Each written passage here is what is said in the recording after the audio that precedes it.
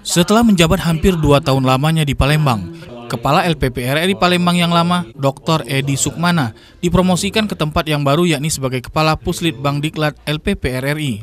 Sebagai gantinya, Kepala RRI Palembang yang baru dijabat Kris Marini, yang sebelumnya menjabat sebagai Kepala LPP RRI Bandung.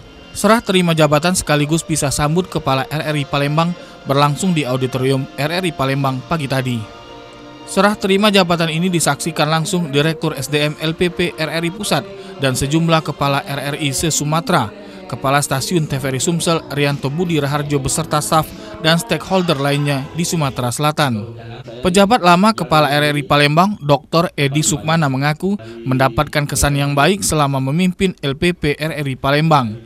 Ia berharap di bawah kepemimpinan Kepala RRI Palembang yang baru harus lebih sukses dan maju lagi undangan. Wah luar biasa. Jadi pegawai-pegawainya kompak semua. Pokoknya pokoknya lancar lah. Makanya dengan dengan ada pergantian ini mungkin apa Insya Allah Bukirsa lebih baik lagi. Dengan TPRI apalagi harus dengan kompak lebih kompak lagi. Pesannya Pak untuk Asia Games ini buat Oh iya harus sukses. Jadi RRI dan TPRI harus menyukseskan Asian Games ke-18 karena ini adalah event internasional untuk kita berhasil supaya berhasil semuanya.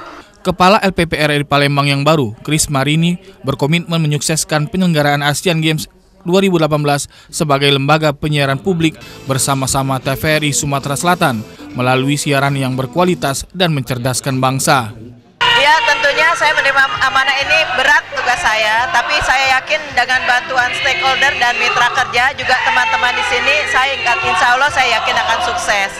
Ini adalah bukan tugas yang mudah, karena uh, ini selain membawa nama lembaga RRI, tetapi juga membawa nama negara. Tentunya kita harus sama-sama uh, bersatu padu untuk untuk ikut mensukseskan uh, penyelenggaraan Asian Games di Palembang.